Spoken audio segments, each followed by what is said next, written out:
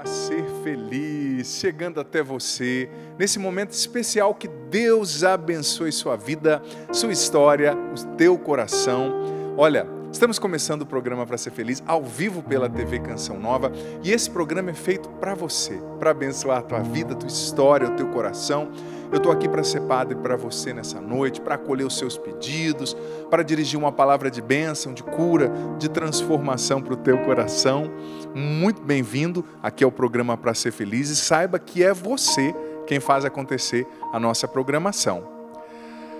É claro que nós estivemos aí no tempo das propagandas eleitorais gratuitas, um pouco tolhidos no nosso tempo, na nossa dinâmica do programa, né?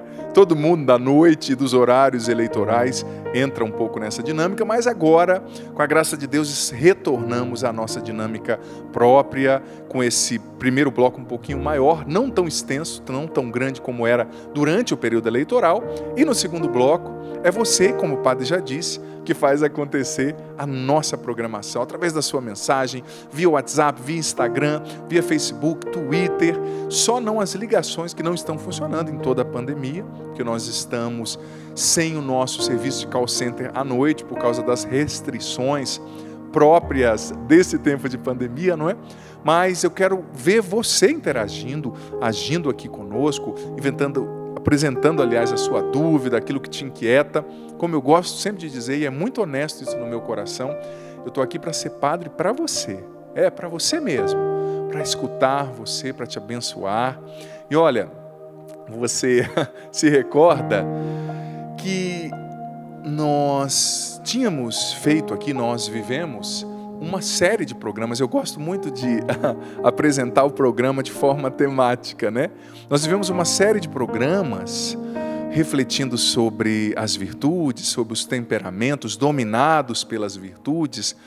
E hoje nós vamos começar uma série falando sobre as, os sete pecados capitais, mas não só sobre os sete pecados capitais, falando sobre as virtudes também, que a gente precisa cultivar para combater esses essas fragilidades, esses pecados e contrapor a isso né, de maneira uh, satisfatória, exitosa.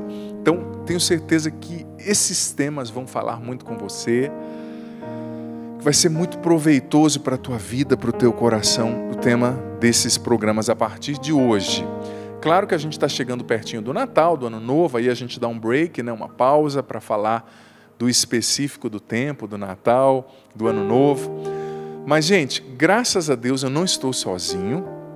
Quero acolher com muito carinho, carinho, aliás, o Christian Lopes, que veio participar, tocar aqui com a gente. Bem-vindo, Christian. Padre, obrigado. Sempre Uma alegria. Prazer ter você aqui, viu? Todo meu.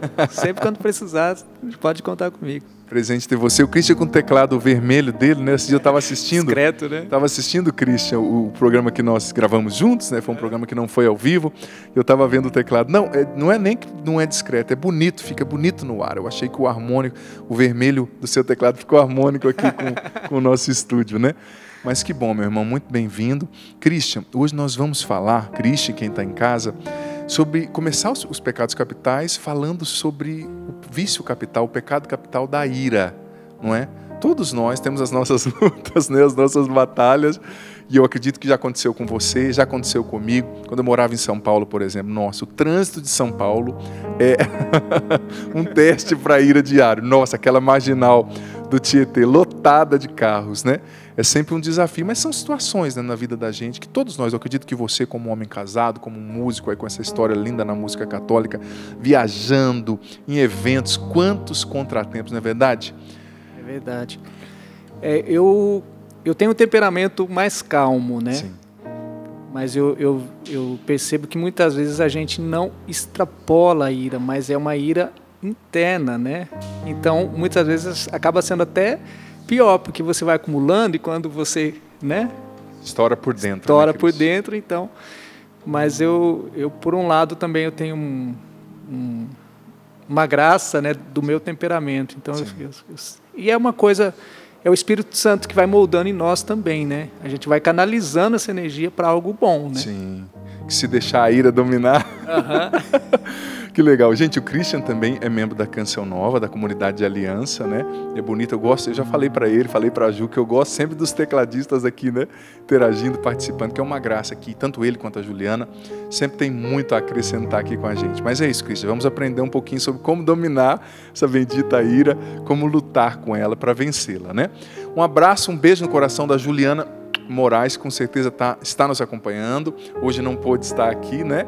Um abraço também ao Marcelo, lá de Londrina, que trabalha com o meu pai, não é? Na empresa do meu pai, dirige lá com o meu pai, diz que sempre está acompanhando. Então, um abraço, Marcela, você e a sua família. Meus sentimentos pela perda do seu irmão, fiquei sabendo, não é que o seu irmão veio a falecer, um irmão doente. Então, Deus o abençoe, força aí viu? Vamos para frente, né? É duro perder quem a gente ama, mas com a força da fé, crendo na ressurreição, a gente recomeça. Gente, então eu já estava falando aqui com o Christian, ele já partilhou um pouquinho do temperamento dele. O Christian é esperto, não sei se foi o Espírito Santo que comentou, mas eu já ia perguntar para ele: qual é o seu temperamento, como você lida com a, com, a, com a ira? Ele já foi, ele já se antecipou, né? Acho que Deus foi falando com ele ali no coração dele. Mas veja bem, para falar um pouquinho sobre isso, de maneira mais uh, assertiva, eu quero trazer uma palavra, uma passagem bíblica se você quiser acompanhar aí, Provérbios capítulo 29, versículo 11. Olha só. O insensato desafoga todo o seu ímpeto, enquanto o sábio o controla, deixando para depois. Tradução da CNBB. E a tradução da Bíblia da Ave Maria diz o seguinte: O insensato desafoga toda a sua ira, mas o sábio a domina e recalca. Olha só. Quem é insensato despeja a sua ira, desafoga o seu ímpeto, como disse a CNBB. Mas o sábio, ele domina a sua ira, a sua raiva. Ele retarda a ação da sua ira. O Christian falou que ele tem um temperamento mais tranquilo. Eu, graças a Deus, também não sou uma pessoa extremamente irada, não. Tem algumas coisas que me deixam bravo, claro. Mas tem gente que, por temperamento, tem uma tendência à ira, né? As pessoas, geralmente, eu falei aqui dos temperamentos há pouco tempo atrás, os coléricos né, têm uma tendência maior à ira, geralmente são mais impacientes, geralmente tem mais dificuldade com as pessoas mais lentas, né? Tem gente que tem dificuldade com pessoas mais lentas. Então a Bíblia está dizendo, olha, o sábio ele vai dominar a sua ira, ele vai retardar, porque a ira ela é esse rompante, né? Ela faz você, sobe aquele sangue. É interessante, olha, Santo Tomás de Aquino, lá na Suma Teológica, na prima secunda, questão 22, no artigo 3, artigo 2, aliás, Santo Tomás disse que quando a pessoa era irada, é como se um sangue subisse no coração. Olha só. Lá no século XII, Santo Tomás de Aquino disse isso. E hoje a moderna ciência descobriu, por exemplo, que quando a pessoa está irada, uma pessoa extremamente irada, agitada, impaciente, ela tem muito mais propensão a um ataque cardíaco do que uma pessoa calma. Hoje, a ciência já constata isso, né? É, o batimento cardíaco acelera quando a pessoa se ira, o sangue, né, a pressão do sangue fica diferente, ela ventila, ela respira muito rápido, oxigena menos o cérebro, menos o cérebro, né? Então tem implicações ali uh, uh, físicas, né? Mas veja bem, a Bíblia está dizendo que sentir ira, Santo Tomás de Aquino também dizia que a raiva é uma emoção humana natural, irascível, né? É uma emoção humana. Todo mundo sente raiva. Mas a Bíblia está dizendo: olha, o sábio aprende a dominar a sua raiva. O sábio, a sábia, aprende a retardar os efeitos da sua raiva. E lembrando que a raiva, a ira, não é só um pecadinho, ela é um pecado capital. Do latim captus captis, quer dizer um pecado cabeça, um pecado que abre uh, brechas, portas para outros pecados. A ira, ela traz as suas filhas mortais. Por exemplo, a ira uh, traz deformidades, pecados como a maledicência, a violência, a vingança, a gritaria, a insatisfação, um mau humor, são filhas da ira, né? A pessoa irada, quando ela está tomada por esse sangue que dizia Santo Tomás de Aquino, ela está ventilando, respirando mais rápido, ela está oxigenando menos o cérebro, ela está pensando menos, ela está sendo reativa, só que ela machuca os outros, né? Ela machuca a esposa, falando num tom de voz opressor, ela nem percebe, mas ela está num tom de voz autoritário, ela machuca os filhos, ela machuca os funcionários, ela machuca as pessoas, né? Então, conviver com uma pessoa irada, que não domina a sua ira, que não tem sabedoria para retardar o, o, sangue, os ataques da ira né, efervescente, é uma provação. Porque a pessoa irada demais, ela machuca todo mundo, ela vai causando dissabor no coração das pessoas. E olha, às vezes a gente é tão insensato, no meu ponto de vista, não existe síntese maior de insensatez do que você mais machucar quem você deveria mais amar. Por exemplo, sua esposa. Ela está dando a vida por você, meu irmão. Seu esposo. Ele está ali sendo, talvez, num temperamento mais calmo, como o Christian disse, ou mais agitado. Ele está do seu lado, ele escolheu você. Só que você tem que aceitar a sua esposa de uma vez, ou você vai fazer o quê? Você vai ficar brigando com ela para sempre? Porque ela tem um temperamento mais devagar? Ou você vai ficar brigando com seu filho para sempre? Porque ele é mais lento? Tem que dominar a ira, tem que dominar o impulso da ira e ser mais paciente. A virtude que contrapõe o pecado capital da ira, da raiva, desordenada, né? como eu disse, sentir raiva é normal, o anormal, o pecaminoso, é deixar-se dominar pela raiva, pela ira, é agir com violência, com maledicência, com gritaria, com ofensas, né? que são as filhas mortais do pecado capital da ira. Isso é pecado, consentir com a raiva. A virtude que contrapõe esse pecado é a virtude da paciência, é a virtude da clemência. Olha, eu estudei hoje o que Santo Tomás dizia. Outra coisa bonita que Santo Tomás disse que chamou muito a minha, a minha atenção, agora já na parte, na segunda secunde da Suma Teológica, na questão 157, artigo 1, Santo Tomás dizia que quem domina a ira e age com clemência é sempre superior, é um sinal de grandeza é um sinal de virtude, é um sinal de inteligência saber dominar a ira, né? Porque esse pecado capital, ele espreita a todos nós. Como eu disse, é no trânsito, é na cozinha. E mais uma vez eu digo, eu estou dizendo para você, é para você mesmo, é você. Não tem insensatez maior do que você maltratar quem te ama e quem vive com você. Você quer fazer da sua vida um inferno? Se você quiser, continua agindo assim. Você quer destruir a sua família? Continua agindo assim. Você quer ter razão ou ser feliz? Não dá para ter as duas coisas. Perca a sua razão, seja feliz na sua casa.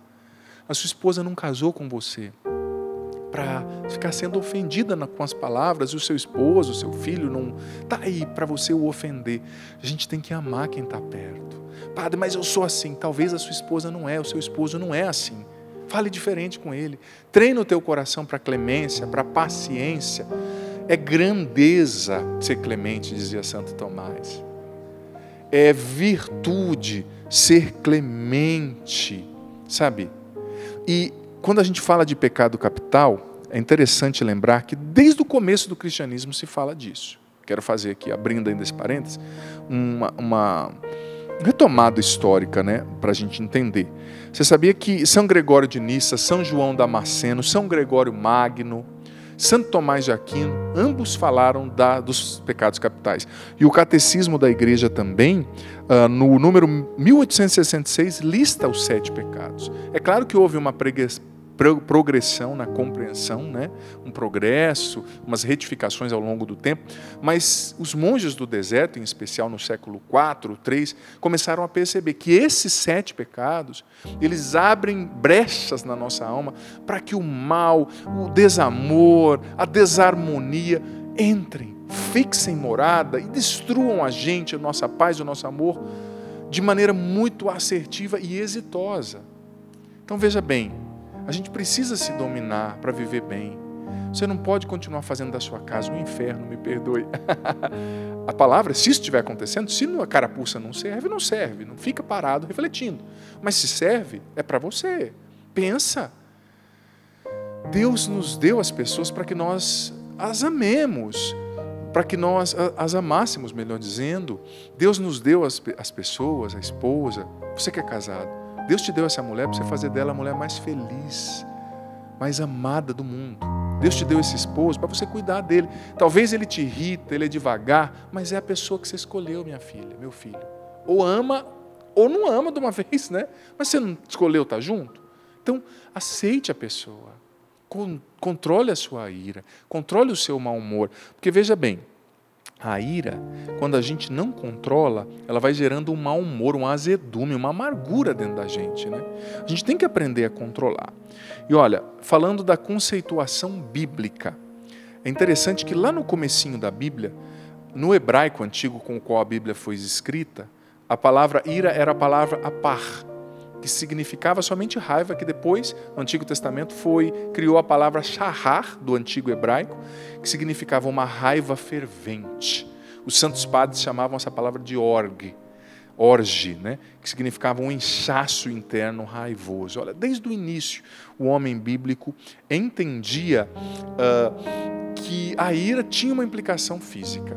E uma coisa muito bonita eu gosto demais de, de, ler alguns filósofos estoicos, como Epiteto, Sêneca. E o Sêneca escreveu um livro inteiro sobre a ira, né? E depois escreveu um outro, De Clemência, que é falando sobre a clemência, né? E olha o que o Sêneca disse também sobre a ira. A ira pode ser derrotada por ensinamentos, porque trata-se de uma fraqueza da mente que está submetida à vontade. Olha só, quando eu lia isso hoje, eu achei isso tão profundo, porque olha só, mais uma vez, a ira pode ser derrotada por ensinamentos, por novas compreensões da vida, de si mesmo, do certo, do errado, das pessoas, porque ela se trata de uma fraqueza da mente e a mente está submetida à vontade. O que, que o Sêneca está dizendo? Se você transforma as suas crenças, a sua mentalidade, aquilo que São Paulo disse em Romanos capítulo 12, versículo 2, transformar a vossa maneira de pensar, de julgar, de agir, não é? Para pensar como Deus. Se você muda o seu pensamento, a sua crença, sua maneira de lidar com as situações, de pensar as realidades, você vai ter muito mais condições de, pela força de vontade, mudar o efeito da ira na sua vida. Porque onde que nasce a ira? Nasce da compreensão que a gente tem. Muitas vezes, o raivoso, o irado, não sempre, mas muitas vezes, ele é no fundo, no fundo, um egoísta, ensimesmado e orgulhoso. Me perdoe a sinceridade. Por quê? Porque o que que starta a raiva, a ira na pessoa? É quando as pessoas não são como ela quer, quando o mundo não gira em torno dela, quando as coisas não correspondem à sua lógica, ao seu tempo, ou seja, a pessoa está dizendo: o centro sou eu, Tá certo? Eu sou Deus, eu sou o centro. Todo mundo tem que me servir, ser o que eu quero. A hora que sai do, do, da lógica da pessoa, a pessoa surta e estoura com quem está perto. Né? No fundo, no fundo, é um egoísta, me perdoe a sinceridade. Em si mesmado, né? Tem que entender que saiu da sua lógica, mas você não é a medida do mundo, né? não é a medida de todas as coisas, filho, filha. Não quero ofender você. O padre está aqui para ser pai espiritual, para ajudar você, mas é preciso refletir, porque esse é um pecado capital. É um pecado que, se a gente repete, a gente compromete a nossa felicidade relacional, humana, espiritual e a nossa salvação. Não é? Então, veja bem, é interessante entender é, é, existem algumas linhas né, da, da, psicologia, por exemplo, moderna, que trabalham com isso. Ah, o fundador da teoria comportamental racional emotiva, o Albert Ellis, ele lia muito Sêneca também, esses históricos, ele dizia que, de fato, se a gente vai incorporando novas crenças de clemência, de misericórdia, de compassividade, a gente vai alterando significativamente as nossas reações de ira. Então tem que mudar o jeito que a gente pensa. Porque muitas vezes o raivoso, ele estoura quando a vontade dele não é atendida. Às vezes tem motivo, óbvio, tem. Aconteceu uma coisa assim, uma coisa lá.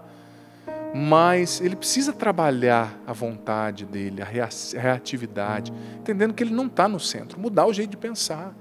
Começar a pensar como Jesus. Tende o mesmo pensamento, tendes o mesmo pensamento de Cristo, né? Filipenses 2,5. Sabe? E olha só, Outra coisa que é importante, eu gosto muito de Santo Inácio de Loyola, quando ele fala que a gente, para ser compassivo e empático, empática, a gente precisa aprender a dar às pessoas o benefício da dúvida. Ou seja, acreditar que até mesmo quando a pessoa errou, no fundo, no fundo, ela estava tentando acertar. Porque no fundo, no fundo, é entre ela e Deus.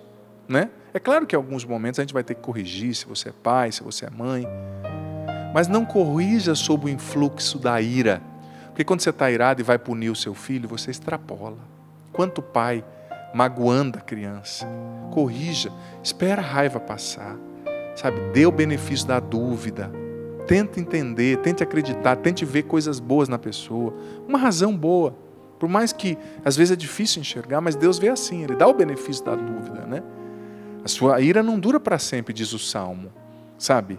Então, é preciso também dar o outro benefício da dúvida, acreditar que ele quis acertar, até mesmo quando ele errou, porque ninguém conhece o coração, o que está dentro. Às vezes a pessoa fez algo errado, mas a intenção dela era boa, mas ela não teve condições de realizar todo o bem que ela queria, empreender aquele acerto que ela queria. Ela errou, mas queria acertar. Deus vê também a intenção. A gente precisa trabalhar para dar ao outro o benefício da dúvida, né? Duvidar que ele agiu de maneira negativa, má, ele tentou acertar. E como eu disse, é preciso aprender a retardar o impulso da ira. Não corrija o seu filho irado. Não corrija o seu funcionário irado. Não converse com a sua família, nem brigue com sua esposa, esposo irado. Calma, respira. Deixa passar, deixa sentar o negócio no seu coração, porque senão o resultado vai ser muito negativo. E depois para catar as penas é difícil, né? Como Sêneca disse, vamos pouco a pouco incorporar novas compreensões, pouco a pouco expandir os nossos juízos, incorporando uma mentalidade mais segundo o Evangelho, mais do jeito de Jesus, mais compassiva, empática. Claro, se precisa corrigir, vamos corrigir, mas com misericórdia, não no impulso da ira, no influxo da ira. Corrija com misericórdia. Corrija, diga a verdade, mas com misericórdia. Sabe? Verdade sem misericórdia acaba sendo uma arma que fere, ao invés de ser uh, um instrumento de correção e de benefício. O padre vai continuar falando sobre isso no segundo bloco e você vai interagir comigo aqui. Estou esperando, viu? WhatsApp, Twitter, Facebook, Instagram. Daqui a poucos minutos estamos de volta. Não saia daí, vamos continuar falando sobre isso. Estamos de volta com o meu, com o seu, com o nosso programa para ser feliz. E eu estou feliz demais com a tua sintonia, com a tua companhia, filho amado, filha querida. Esse programa é feito para você. A Canção Nova existe para levar o amor, a palavra, a sabedoria da palavra de Deus para a tua vida, para abençoar o teu coração. E hoje, começando essa série sobre os sete pecados capitais, falando sobre a ira. Como eu disse, a virtude que a gente precisa contrapor a ira, que é esse pecado capital, é a paciência.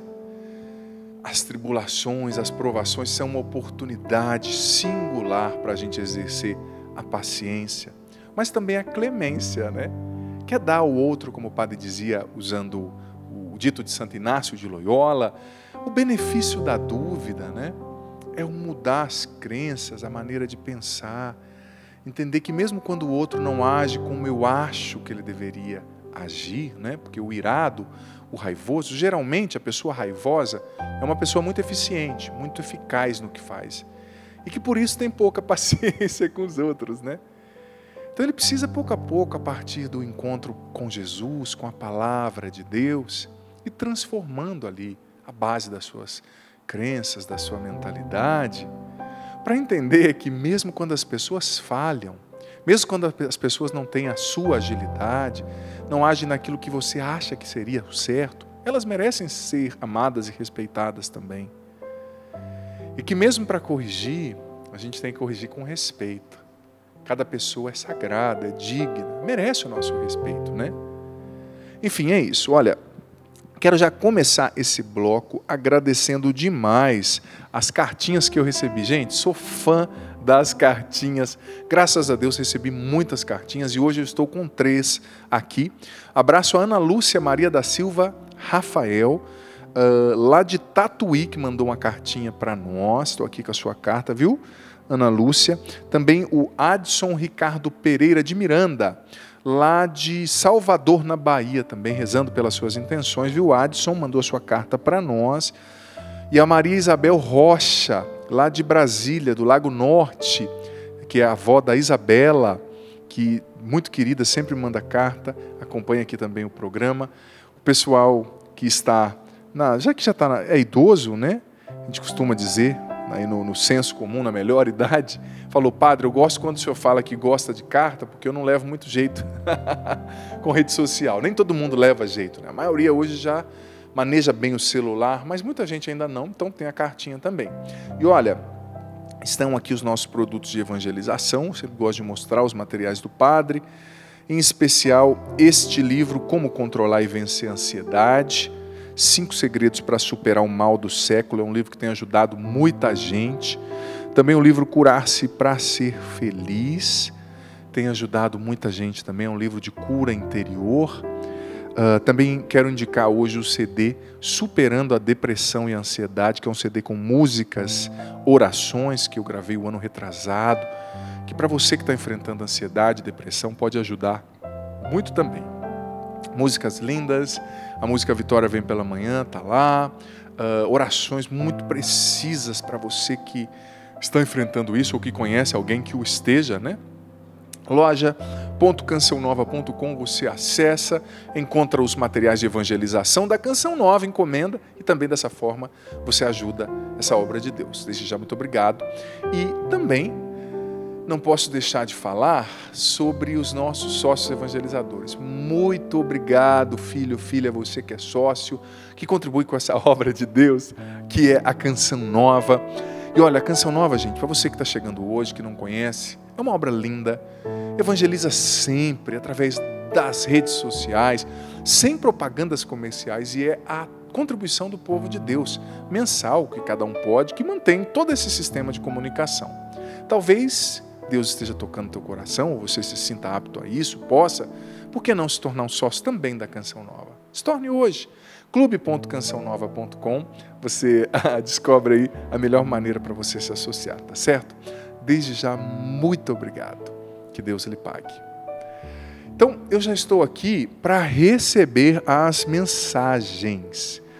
Nós estamos falando sobre a ira, né, o pecado capital da ira, e geralmente no programa Para Ser Feliz, você que está chegando agora, o padre recebe as mensagens das pessoas que vão pouco a pouco interagindo e perguntando, né? Acabei de receber aqui uma mensagem. Olha, eu já quero dizer que se você não quer que o padre mencione o seu nome, eu estou agora aqui com o Instagram, já vai aparecer aí na sua tela o endereço.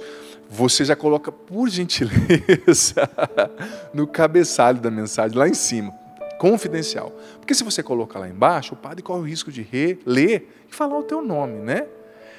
Então, recebi aqui uma mensagem dizendo: Boa noite, padre. No programa de hoje parece até que o senhor está conversando comigo. Assumo que tive um ataque de ira agora há pouco, porque notei que, apesar de eu me cuidar, alguém próximo de mim está prejudicando minha saúde com descuidos frequentes. E daí o Senhor transmite atrás de ti as palavras para minha reflexão. Que bênção. Ela não pediu para eu não mencionar o nome dela, mas talvez essa pessoa que ela mencionou esteja do lado dela assistindo, então não vou falar o nome, por prudência, né? Que pelo Instagram, ainda novamente, a Amanda Rodrigues está mandando mensagem, a Heloísa Lima também acompanhando aqui o programa Para Ser Feliz. Muitas mensagens chegando aqui pelo Instagram e também pelo Facebook. Olha só, pelo Facebook, a Mariane Cristine Savassi está aqui conosco não é? Ah, pedindo oração. E mais uma pessoa dizendo, ah, pedindo oração, falando, Padre, eu, meio de tantas tribulações desse vírus, perdas, meu filho fazendo tratamento de transtorno bipolar, depressão, graças a Deus misericordioso, hoje ele começou um trabalho novo na minha vida. Padre, o Senhor faz parte dessa vitória, estou aprendendo a dominar-me né, e a controlar a ira e tantas coisas dentro de mim. A Cláudia Freitas uh, já mandando essa mensagem aqui para nós através do Instagram. Olha só, muitas mensagens chegando. Nosso WhatsApp também vai aparecer aí na tela. Você pode enviar mensagens via WhatsApp aqui para nós, tá? Mas eu estou ainda acolhendo agora as mensagens do Facebook, do Instagram. Agora estou aqui no Instagram. Uma pessoa dizendo: Boa noite, Padre, sua bênção. Estou assistindo ao seu programa. Por favor, reze por mim hoje diante do Santíssimo. Estou em processo de cura de meu relacionamento afetivo, pois, como já havia, havia falado para o Senhor, meu noivo terminou comigo faltando dez meses para o nosso casamento. Ele me abandonou e acabou cobrando dinheiro de mim indevidamente. Eu e meus pais estamos sofrendo por isso e tive que pedir orientação jurídica jurídica, né, pelo, pelo dinheiro que ela tirou dele, que ele tirou dela, pelo jeito, né? Peço oração por nós, Deus os abençoe por iluminar nossas vidas com suas pregações. Ela falou que eu posso identificar é a Ariane Gonçalves. Olha só, Ariane, interessante você falar disso, porque não entenda errado isso que o padre está falando sobre a ira, tá? Porque tem gente que fala assim, ah, então o cristão não pode se irar nunca. Não é isso. Tá? A gente não pode pecar dominado pela ira. Mas o próprio Santo Tomás de Aquino falava que existe uma ira justa. Né? Aristóteles também, que inspirou né, Santo Tomás, filósofo Aristóteles, também falava dessa ira justa. É aquilo que aconteceu com Jesus quando ele expulsou os vendilhões do templo. Né? Ele pegou o chicote e expulsou os vendilhões do templo. Então, num caso como esse, né, ela foi, ah, esqueci o nome dela, Ariane, se não me engano, isso, justamente, Ariane Gonçalves você foi abandonado ali dez, dez meses antes do casamento, ele cobrou dinheiro indevido de você, né? Essas situações talvez deixaram uma ira ali no teu coração, uma raiva. É natural, né? É natural. Agora, a gente precisa, como disse o próprio Sêneca, que o padre citou, a gente precisa ser racional também para pensar o seguinte. Claro, você sentir a raiva, você causa aquela decepção, né? Pô, a pessoa fez isso comigo a gente se sente usado, né? Pô, a pessoa me usou. Tudo bem, passou esse primeiro momento. Se você continua cultivando isso, você vai cair naquilo que é chamado de ruminação negativa. Eu gosto de explicar aqui, não é nem um pouco uh, critério de etiqueta falar sobre isso, mas você sabe o que é ruminação, né? É meio nojento, mas a vaca come o capim, vai no estômago, volta para a boca, mastiga de novo e volta para o estômago. Né? Isso que é ruminação. Então, a ruminação negativa, fazendo a, usando a metáfora da vaca, ela é quando você se demora demais nessa ira e começa a ruminar, e voltar e pensa na raiva, o que o outro me causou, ele me usou, ele não podia. É justo, entre aspas, mas não é sábio. Por quê? Porque isso está fazendo mal para você. A vida dele andou, né? Ele vai acertar contas com Deus, com a vida um dia, se ele agiu de maneira uh, desordeira com você, atroz, vai, obviamente. Mas a tua vida precisa andar. enquanto a gente não se liberta da ira, a nossa vida não anda. Enquanto a gente não se liberta da mágoa, a nossa vida retrocede. A nossa vida involui ao, ao invés de evoluir, né? Sabe, a gente está se implodindo por dentro essa ruminação negativa, ela vai gerando o quê? Amargura, vai gerando vitimismo, a gente vai ficando com dó da gente mesmo. Tudo bem, isso aconteceu com você, foi muito triste, mas ninguém tem que ter dó de você, e nem você mesmo. Você é uma mulher digna, filha de Deus, com certeza muitíssimo inteligente, cheia de talentos. Então é hora de virar a página, deixa esse rapaz não é, na, na, nas mãos de Deus. Quem vai fazer a justiça é Deus, né? Tem coisas, gente, olha, eu quando você vai, você convive com as pessoas, você vai vendo as traições que acontecem. Né? Esses dias eu vi o caso de uma mulher que o sogro passou as coisas no nome do filho, porque o sogro estava vivendo uma situação jurídica lá complicada por causa de um sítio que ele tinha vendido. O filho morreu num acidente de carro. E como a esposa tinha comunhão de bens com o filho, a esposa tomou os bens do sogro e deixou o sogro uh, velhinho, sem nada a esposa do, do, do, defunto, né, do filho falecido desse sogro. Cada situação, você vê onde o ser humano chega, você vê os desvalores desse mundo, né, o materialismo que vale é só o dinheiro, o poder, o outro que se exploda, as pessoas estão se desumanizando. Né? Tem situações que despertam a nossa ira. E é claro, num caso como esse, no caso como o seu, se o teu ex-noivo te lesou, entre sim com uma representação jurídica, exija cada centavo. Não nesse sentido que você tem que perdoar, mas você depois tem que libertar o teu coração. Exige cada centavo, entenda bem, no sentido de que se é justo, é justo. Não é? Você tem a lei, o aparato civil, jurídico para te ajudar. Mas depois libere o seu coração disso.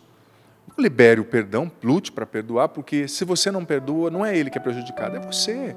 Né? Você fica presa na situação, você fica ruminando negativamente, indo e voltando, indo e voltando, né? E a vida precisa progredir, a vida precisa ir para frente. Olha só. Tá certo? Obrigado, viu, a filha Ariane, por essa mensagem. Outras mensagens aqui pelo Instagram, mas antes de responder aqui pelo Instagram, eu quero chamar uma mensagem via WhatsApp que enviaram aqui para nós. A Joana, nossa equipe maravilhosa do Pra Ser Feliz, já preparou. Boa noite, padre. Eu tenho um temperamento muito explosivo. Não tenho nenhuma, não tenho muita paciência. Por causa disso, eu machuco as pessoas que convivem comigo, pois exagero falando demais, mas depois acabo ficando mal, pois acabo ferindo quem amo. Como faço para me controlar, ter mais paciência? Sua bênção. Ela não deixou o nome, né, Joana? Não, você não está aqui, não deve ter deixado. E olha, eu sei que é delicado, são delicados os temas que o padre aborda, então não tem problema. Se você não quiser colocar o seu nome, eu vou entender plenamente. E aqui no Instagram, mais uma vez digo, já coloca no início, confidencial. Olha só, para você, filha, é importante você constatar que por, pelo seu temperamento explosivo, você está machucando as pessoas. E tem pessoas, as pessoas, elas são diferentes da, diferentes da gente, né? São diferentes. Eu sou assim, padre, eu sou resolvido, mas talvez você casou com uma mulher que não é como um esposo que não é. Que ele é mais melancólico, ele tem um outro tempo, ele é mais milindroso, talvez, né? mas você casou com a pessoa. Você tem que ser inteligente o bastante para escolher ser feliz ao lado dessa pessoa, aceitando-a do jeito que ela é e lidando com ela, apesar do que nela não te agrada. Né? Então veja só, eu iria falar no comecinho, o padre acabou não falando, mas eu separei cinco pontos, cinco passos de uma estratégia para lidar com a ira que eu penso que possa te ajudar. Olha só, primeira, primeiro ponto, primeiro passo dos cinco dessa estratégia para vencer a ira. Aprenda a retardar o impulso da sua ira e não haja com impulsividade. Cultive a virtude da paciência. O que é retardar o impulso da ira? É cultivar a paciência. Porque a ira é aquele sangue no coração, como diz Santo Tomás na Suma Teológica. É aquele, ai, a pessoa não fez aquilo. Retarda a ira, calma. Respira. Aquele famoso contato é 10 ajuda muito, muito. É cientificamente comprovado. Eu li uma pesquisa hoje sobre isso. O parar e rezar uma Ave Maria, sabe? Retarda a ira lentidão para a cólera, né? O Salmo 138 diz, 138 não, desculpa, 128, se eu não me engano, diz que Deus é lento para a cólera, né? A gente tem que ser lento para a cólera também, porque você não é Deus. Se Deus que é perfeitíssimo é lento para a cólera, né? Quem somos eu e você? Segundo passo da nossa estratégia, reflita e pondere antes de se posicionar, antes de reagir. Ou seja, quando nós estamos irritados, a gente não pensa e a gente pune os outros, a gente fala, a gente briga desproporcionadamente, de maneira desproporcional. Ou seja, a pessoa derrubou uma casca de banana, né? Sobretudo vocês mulheres, tenha paciência com a gente homem. a gente às vezes é mais bagunceiro, não estou generalizando, mas de maneira geral, né? E a nossa psique, a nossa constituição emocional, intrapsíquica funciona pautada em outros mecanismos, em outros valores, né? Às vezes estamos eu e o Christian, suponhamos que estivéssemos aqui numa sala e o Christian derrubasse uma casca de banana. Tudo bem, é chato derrubar uma casca de banana. Cris, você pode pegar, por gentileza? Eu poderia falar para ele. Uma coisa é eu pedir para ele pegar a casca de banana, outra coisa é eu gritar e ficar sem conversar e o humilhar por causa de uma casca de banana. Tudo bem, se é a oitava casca de banana que ele derruba, ou a décima sexta, né, Cristian? Vai que a esposa do Cristian esteja assistindo e fala, é isso mesmo, pá. não sei, né? Brincadeira. Camila nunca me falou nada disso, a esposa do Cristian. Enfim, se é a décima sexta, não vai gritar e humilhar o Cristian. Eu estou dando exemplo porque você está mais perto, viu, Cristian? Senta, espera a raiva passar, senta com ele e diga o que a casca de banana está causando em você. Cristian, eu sei que foi só uma casca de banana, mas olha, é a décima sexta vez. Isso está me levando a sentir que você não se importa comigo. Isso, se fosse a sua esposa no caso, né? Isso está levando, me levando a sentir que eu estou sozinha em casa. Pode ser bobo para você, Cristian, mas está me ferindo. Se você que tem a tendência à ira, espera a ira passar e conversa de maneira adulta, dizendo para o outro o que você está sentindo, o que, o que a reação dele está causando em você, a conversa é levada para um outro patamar. Não tem xingamento, não tem humilhação, tem diálogo, né? E é isso que está faltando nas famílias. Não a briga, mas o diálogo. Gente, briga não resolve problema. Porque se você age com grosseria, você vai estar ativando o orgulho do outro, que não vai querer ficar muito por baixo. E vai responder. Você falou dois, ele vai falar três. E assim sucessivamente, não é? Terceiro passo: cultive um coração compassivo. Interessante, o, estou citando os estoicos hoje, né? O Marco Aurélio, que foi um imperador romano, mas também um grande filósofo, também bebeu um pouco dessa corrente, ele dizia o seguinte, lá no século II, que assim quando você acorda, os livros do, Marco Aurélio são conhecidos muito na filosofia, né? eu me formei em filosofia, então eu gosto muito de, de ler esse tipo de coisa também, que acrescenta muito. Ele dizia assim: quando você acorda, tenha certeza que você vai encontrar pessoas lentas, pessoas arrogantes, pessoas chatas, pessoas intolerantes, pessoas desorganizadas. Já sai de casa com certeza, com essa certeza. E já vai treinando o seu coração para compassividade, para clemência, antes de você encontrar essas pessoas. Que insight legal, né? Ou seja, você vai encontrar pessoas difíceis, você vai encontrar motoristas ruins no trânsito. Uma das poucas coisas que me tira ah, do centro, Cristian, é o trânsito, confesso, né?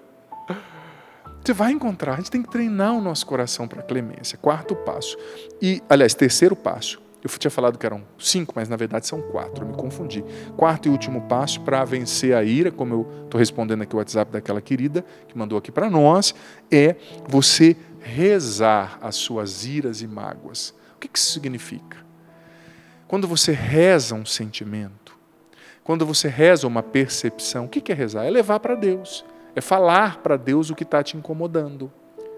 Se você reza a raiva, se você reza a mágoa, se você reza a vontade de matar o Cristo porque ele derrubou a 16 casca de banana, para Deus, você está passando pelo, pelo filtro de Deus, pela peneira da palavra de Deus, pela peneira do amor de Deus, pelo filtro do olhar de Deus. Então é preciso rezar isso antes de reagir. Alguns casos a gente vai ter que ser mais duro. Claro, sobretudo se você é pai e mãe. Alguns casos a gente vai ter que corrigir, mas façamos com esses quatro passos. Recapitulando os quatro passos. Retarde a sua ira, não reaja na impulsividade, o primeiro. O segundo, reflita e pondere antes de se posicionar, jamais corrija sob o influxo da ira, puna sob o influxo da ira. Terceiro, treine o seu coração para clemência e para compassividade. E quarto, Reze suas iras, suas mágoas. Passe pelo filtro de Deus, da Sua palavra.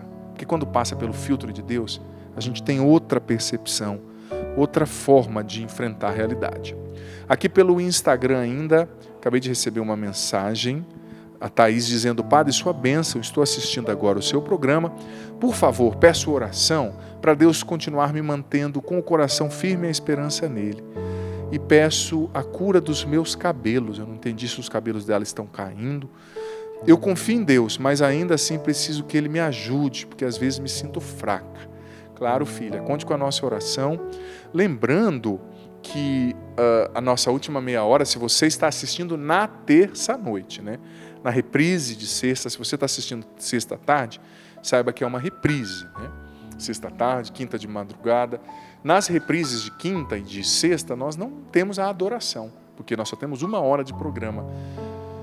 Mas na terça-noite, a gente sempre tem a última meia hora diante do Santíssimo. Então lá, aqui, né, melhor dizendo, diante do Santíssimo, o Padre apresenta, filho, amado filha querida, todas as suas intenções diante do Senhor. Olha só, recebi uma mensagem aqui, a mulher já disse, confidencial pelo Instagram também. Padre, a sua bênção, sou uma mulher de meia idade, divorciada, sem filhos, católica, acredito muito na misericórdia de Deus, mas desesperançosa e movida pela solidão, por causa da solidão, desesperançosa por causa da solidão, medo, desespero e raiva do meu ex-marido que me traiu. Seguiu em frente aparentemente feliz. Uh, me sinto culpada por isso envergonhada comigo mesmo, com medo de Deus não me perdoar, porque eu fiz uma amarração amorosa via internet. Ela se envolveu com o ocultismo, o que só piora a situação, viu, filha? Isso aqui eu sei que você está está com medo de Deus não te perdoar, busca a confissão, porque isso é sério. Quando você se envolve com ocultismo, magia, você está abrindo espaço na sua alma para forças muito ruins e negativas, condenadas pela Bíblia, tá? Eu não soube aceitar o nosso fim e, movida pela ira, eu fiz isso. Não consigo superar o meu passado. O que faço para conseguir desfazer esse mal e me refazer diante de Deus e reaver minha própria dignidade? Filha, em primeiro lugar, você pediu confidencialidade, o padre não vai falar, né? Uh, obrigado pelo seu carinho em partilhar com o padre algo tão sério. Olha, esse envolvimento com o ocultismo, essa amarração amorosa, em primeiro lugar, não funciona. Isso não funciona, gente. Sabe, se funcionasse ele já estaria aí. não funciona, né? Então, claro, você está arrependida, pelo que eu percebi, você tem consciência. Gente, o envolvimento com práticas ocultas é um pecado grave de idolatria, o pecado contra o primeiro mandamento. Amar Deus sobre todas as coisas e buscar só nele a fonte do poder, da cura, da transformação. Então, se você se envolveu com o ocultismo, no teu caso, filha, busque a confissão, confesse esse pecado, receba, receba absolvição, receba você diz que é católica, a absolvição sacramental é um sacramento de cura, né? E eu sei que é difícil, você foi injustiçada, mas filha, ninguém casa sozinho, né? São dois lados. E ele foi um cafajeste, me perdoe a palavra, um fraco, escolheu te deixar. Mas a tua vida precisa também ir para frente. Você é uma mulher digna, que merece ser feliz. Claro, não vai sair desesperada, ficando com qualquer um, para tapar esse buraco da solidão e da carência. Talvez seja a hora de você começar a cuidar mais de você mesma, de coisas que você não cuidava antes, da saúde, da espiritualidade. Por que não? Você me disse que é católica, é cristã, talvez está na hora de começar a ler livros cristãos, se aprofundar na espiritualidade assim que passar essa pandemia, fazer um retiro espiritual, por que não? Via Canção Nova, seja muito bem-vinda, ou aí na sua igreja. Mas hoje em casa mesmo, pela internet, hoje o YouTube nos dá essa possibilidade. Eu mesmo tenho um canal no YouTube, você pode ir lá depois se inscrever, youtube.com.br Padre Adriano Zandoná, com pregações, com conteúdos, né? A solidão é difícil, ela é ardilosa, então você precisa lidar com ela com inteligência, com a oração, preenchendo com coisas boas. É difícil essa cobrança. Não tem nada de errado com você, viu, filha? Ele foi mau caráter. Você é uma mulher digna, com certeza valorosa. Mas vai preenchendo esse vazio com coisas boas, com bons relacionamentos, boas amizades, com a família. Talvez cuidando de coisas na sua vida que ficaram sempre em segundo plano, né? Aproveita essa oportunidade, tá certo? Obrigado pela confiança. Quero chamar a mensagem via WhatsApp, com certeza o nosso WhatsApp está aparecendo aí na tela para você, né?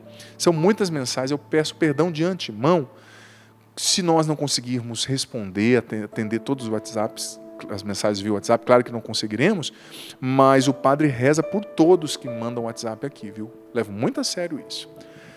Descobri aos 51 anos, padre, que minha ira é muitas vezes incontrolável, pois sou portadora do transtorno afetivo bipolar crônico.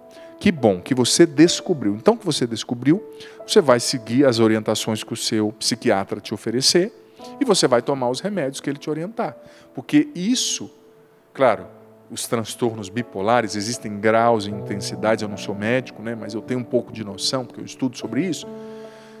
Talvez eles não sejam reversíveis, mas eles são controláveis. Com o remédio você vai conseguir controlar essa ira. Talvez o primeiro remédio não dê certo. O remédio em si, ou a posologia, você volta lá no especialista, no psiquiatra, no neuro que seja, acho que o psiquiatra, né, penso. Ele vai mudar a medicação, mas você não tem que ser refém da ira por causa disso, ou até mesmo usar, né, desculpa a sinceridade, o transtorno como uma muleta para continuar agindo de maneira irada. Né? O remédio vai te ajudar. Se não estiver ajudando, você vai voltar no especialista e pedir um outro. Mas uh, é interessante, você descobriu, e que bom que descobriu. Que é duro quando a pessoa não descobre. E a gente tem que observar, às vezes, você que é pai e mãe, tem um filho que é irado além da conta, que é explosivo. Eu atendi uma vez uma criança, de, uma mãe com uma criança de 7 anos, mas que ela era explosiva a ponto de quebrar o vaso da, da sala na cabeça do irmão, porque o irmão trocou de canal. Aí a mãe levou no psiquiatra, no, fez uma terapia e descobriu que tinha um problema, né? Às vezes é um transtorno, às vezes é algo genético. Então, é contornável com remédio. Esses casos são casos nos quais a intervenção farmacológica é altamente recomendada, porque há um desequilíbrio na química neural, na construção sináptica ali, né? Então tem que reequilibrar com uma intervenção de medicamentos. E quem vai te dizer é justamente o especialista. Quero pedir mais uma mensagem, Joana, se nós estivermos aqui, uh, via o WhatsApp, já vou aqui no Instagram, graças a Deus, muita gente mandando também, agradeço, já vou ler, mas quero aqui o WhatsApp. Primeiro, boa noite, padre, meu nome é Elisângela. Peço oração para minha família, pois nós estamos passando por muita dificuldade na saúde.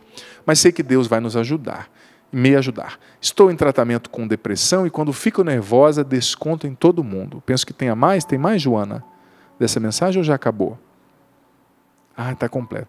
Fico nervosa e desconto em todo mundo. Olha que bonito. Eu, eu sou muito fã desses meus telespectadores aqui, porque vocês são muito inteligentes. o padre já falou estou refletindo sobre o assunto, vocês já vêm com o diagnóstico pronto. Vocês são muito, você é muito inteligente, você que mandou essa mensagem. E eu tenho certeza que você, é você mesmo. você já está percebendo aí onde está o problema e aonde o calo aperta. Tá ou não tá? Fala a verdade, seja sincero. Às vezes a gente fica maquiando os problemas. Ela já descobriu. Eu tenho depressão e deixo me levar e acabo descontando em todo mundo. Olha, depressão, doença, não é desculpa para a gente ser grosso e mal educado com os outros, tá?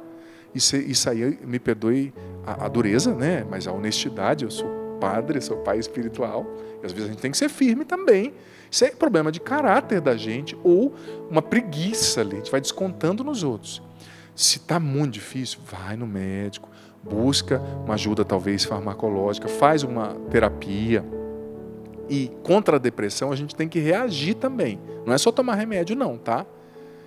Tem que reagir, tem que querer ver gente, tem que querer sair de casa, tem que querer tomar banho, tem que querer sair da cama, tem que lutar mesmo sem vontade para conversar com os outros, tem que lutar mesmo sem vontade para rezar, para vencer a si mesmo, tem que sair do casulo. E olha, luta para desenvolver a virtude da clemência e da paciência nessa situação. Às vezes a raiva parece ser incontrolável, né? Vem aquele rompante, como Santo Tomás falou, retomo, aquele sangue que sobe. Mas é preciso rezar mais. É preciso repetir a ejaculatória. Jesus, manso e humilde de coração, me dê um coração semelhante ao teu. A nossa meta é Jesus. O modelo, o homem, o ser humano perfeito é Cristo. A gente precisa imitá-lo, né? Então, filha, reza mais, pede ajuda a Deus e não use a sua depressão como muleta para você ser desordeira com as pessoas. Todo mundo merece a nossa educação. Olha, eu tenho um ditado comigo que eu aprendi com os meus pais. Eu prefiro, claro, eles não falaram isso, que são pessoas muito inteligentes, mas muito simples, dessa forma, mas eu aprendi assim, interpretei assim que eu prefiro pecar pelo excesso de gentileza do que pelo excesso de grosseria. Tem gente que fala, você tem que se impor, você tem que ser assim. Às vezes você tem que se impor, mas até para se impor, você não tem que se impor como um cavalo. Você tem que se impor como um ser humano, inteligente, que pensa, que sabe ser gentil, sabe? Que sabe conversar, que sabe ouvir os outros. A gente tem que reaprender a ouvir as pessoas. Isso é muito importante. Olha só, obrigado pela sua mensagem, aqui ainda pelo Instagram. Um. Muita gente mandando mensagem. Graças a Deus. Quero abraçar com carinho a Flávia, doutora Flávia, que está acompanhando aqui. Muitos médicos nos acompanhando. Uh, muita gente mandando mensagem. Não vai dar para responder todo mundo, mas agradeço você que está enviando mensagem para nós, né? Agradeço de coração. Quero mandar um abraço também para uma amiga de, da minha adolescência, Josiane, que está nos acompanhando também lá no Paraná. Deus abençoe, Josiane. Recebi tua mensagem aqui. Preciso chamar um intervalo. Se você está acompanhando na reprise, o programa acaba aqui, né? Se você não está, nós vamos ter terça-noite, hoje ao vivo, né? Se você está acompanhando ao vivo, a meia hora diante do Santíssimo. Mas eu já me despeço aqui com a bênção, porque uh, se você está na reprise, o programa acaba por aqui. O Senhor esteja convosco, Ele está no meio de nós. Que desça sobre você, filho, filha, tua família, o teu coração, te dando mais paciência, te dando mais clemência, mais calma para resolver as coisas. E permaneça para sempre. A bênção do Deus Todo-Poderoso, Pai, Filho Espírito Santo. Amém. Para ser feliz. Graças e louvores se deem a todo momento ao Santíssimo e Diviníssimo Sacramento. Graças e louvores se deem a todo momento ao Santíssimo e Diviníssimo Sacramento. Graças e louvores se deem neste momento ao Santíssimo e Diviníssimo Sacramento. Glória ao Pai e ao Filho e ao Espírito Santo. Como era no princípio, agora e sempre. Amém.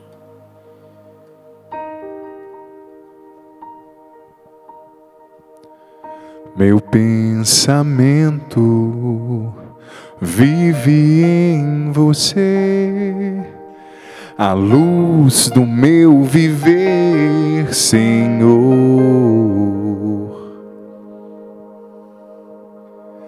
Basta entrar, eu me abri para te amar, nem precisa perguntar, te amo.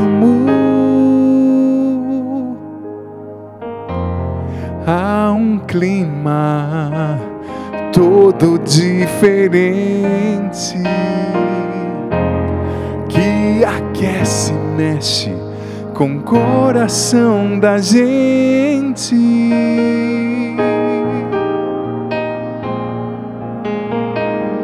É como um sonho, é como um sonho, eu me dou por inteiro teu é o meu coração,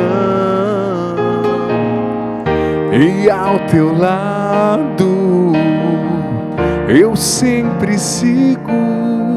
Já não há mais, talvez, basta querer pra te ver outra vez. Do início, meu pensamento vive em você, se você sabe canta essa canção, diga para Jesus. Às vezes, no auge das nossas dificuldades, a gente tem que somente concentrar o nosso pensamento nele e deixar ele fazer. Meu pensamento vive em você, a luz do meu viver, Senhor. Basta entrar, eu me abri para te amar. Nem precisa perguntar, te amo. Há um clima todo diferente que aquece e mexe com o coração da gente.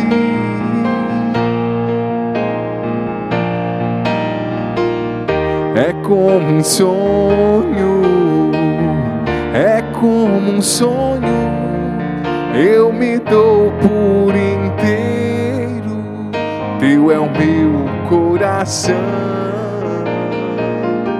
e ao teu lado eu sempre sigo, já não há mais talvez, basta querer pra te ver outra vez. É como um sonho, é como um sonho, eu me dou por inteiro teu é o meu coração, e ao teu lado eu sempre sigo. Já não há mais, talvez, basta querer pra te ver outra vez.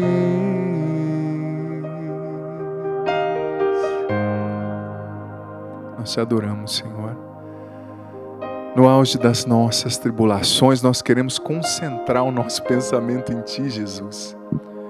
Às vezes, o que de melhor a gente pode fazer é concentrar o nosso pensamento em Ti.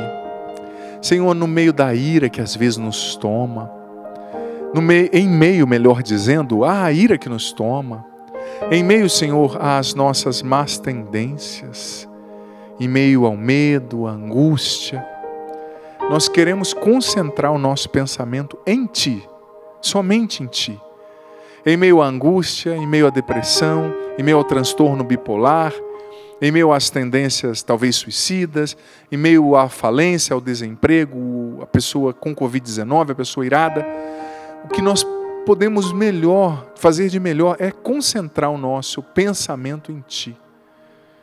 Nós queremos, Senhor, estar contigo, pensar em Ti, centrar a nossa vida em Ti. Senhor, eu rezo nesse momento por todos os filhos e filhas que nos acompanham, por quem enviou mensagem via Instagram, Facebook, Twitter, WhatsApp.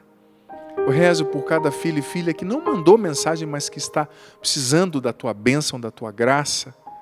Eu rezo, Senhor, pelos enfermos nesse momento, aqueles que têm Covid-19 nos acompanham.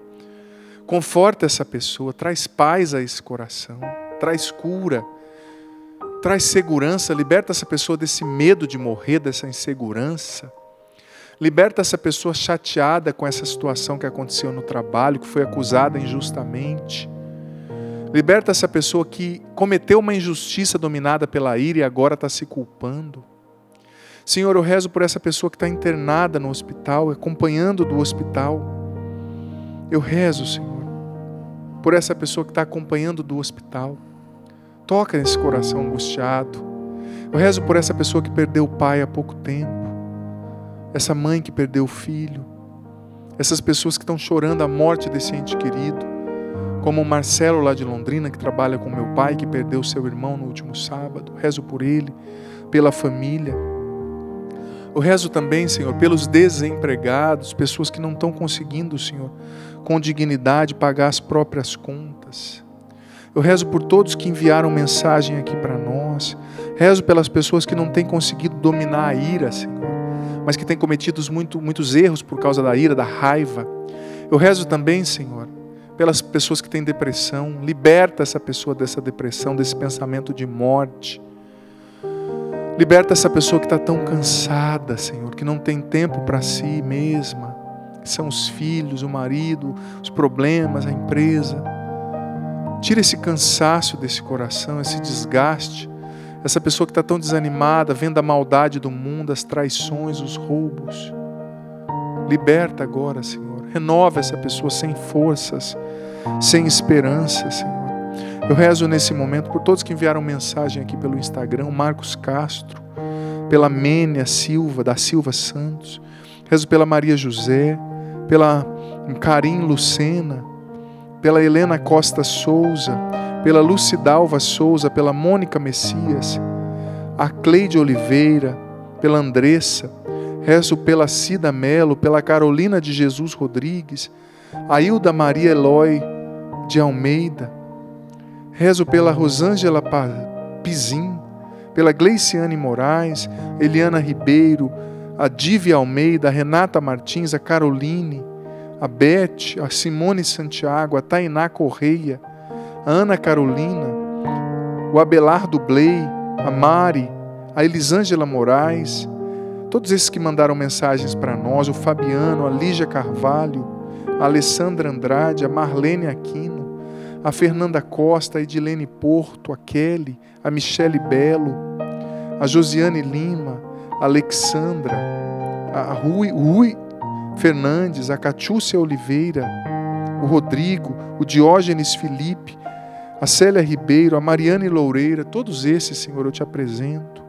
A Darlane Santos, a Camille Ramos, a Heloíse Lima, a Joseane. Rezo, Senhor, pela Paulinha, Tantas pessoas aqui que enviaram mensagens, a Raquel Lacerda, o Anderson Costa, a Dora Costa Vital, Vidal, a Priscila, a Natália Rosa, a Andy Janete, Hashimoto, a Thaís Torres, a Linda, todos esses filhos e filhas que estão aqui mandando mensagem, todos que mandaram mensagem via Instagram, Senhor. Eu rezo por todos esses nesse momento. Venha curar os corações feridos, Senhor, pelo ódio, pela ira, pela mágoa. Quantas pessoas, Senhor, se sentindo usadas. A palavra que me vinha era essa. Pessoas se sentindo usadas. O Senhor está tocando agora. Você que se sentiu usada, usado e depois descartado, descartada, jogado fora. Isso causou uma dor, uma ira no teu coração. O Senhor está consolando você. O Senhor está tocando o coração de uma mulher. Você não está vivendo bem com seu marido. Você está sentindo que ele está escapulindo das suas mãos. Você não sabe mais o que fazer. Você estava chorando, angustiada. O Senhor está consolando você. E o Senhor está te dizendo: reze, pedindo a minha sabedoria, que eu vou te mostrar o que fazer em cada dia. O Senhor também está consolando nesse momento pessoas que perderam entes queridos, familiares, que estão se sentindo iradas, revoltadas com Deus, com a vida. O Senhor está te dizendo: me entrega essa pessoa, me entrega essa situação. Shimini alamasuri kanaralaba, ora lamari alamari alamari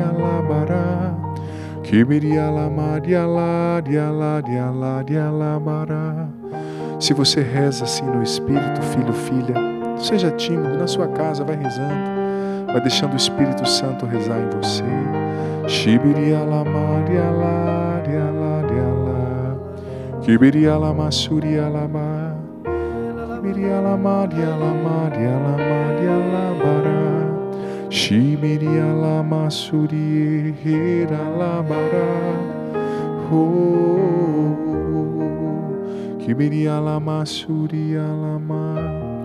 O Senhor está tocando agora pessoas que foram muito machucadas por palavras palavras de pessoas iradas pessoas raivosas, pessoas impacientes. Você que convive com uma pessoa raivosa, impaciente, você foi se encolhendo para poder sobreviver. Você foi se encolhendo para ser o que essa pessoa queria, mas só Deus sabe como isso te fere por dentro. Você foi encolhendo para reagir. Não é que você estava certo, certa em tudo, não, você tem que melhorar. Mas isso estava te, machu tá te machucando. Claro, você não vai desistir de amar, não vai desistir dos seus, mas tem dores que só o Senhor pode curar dentro da gente. O Senhor agora está tocando você. O Senhor agora está curando essa dor das humilhações que você sofreu por essas palavras duras, por esses julgamentos. Às vezes que você não estava nem esperando a pessoa jogava aquela palavra que era pior que um soco, e você se sentia rebaixado, rebaixada na sua dignidade. Você se sentia um nada. Um nada. O Senhor está curando você agora. O Senhor também está realizando curas físicas. Pessoas com problemas físicos que estavam rezando diante do Senhor, diante da TV, do celular, na internet, pela internet, o Senhor está curando agora. Pessoa com problema sério no intestino está sendo curada.